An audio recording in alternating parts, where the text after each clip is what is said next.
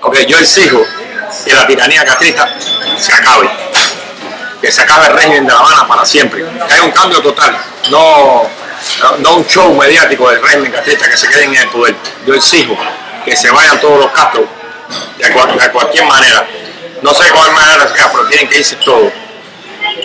De cualquier manera. A la fuerza como quiera, pero tienen que irse de ahí. Eh,